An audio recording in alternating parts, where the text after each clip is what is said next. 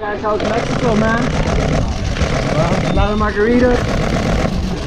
Hello, no margaritas.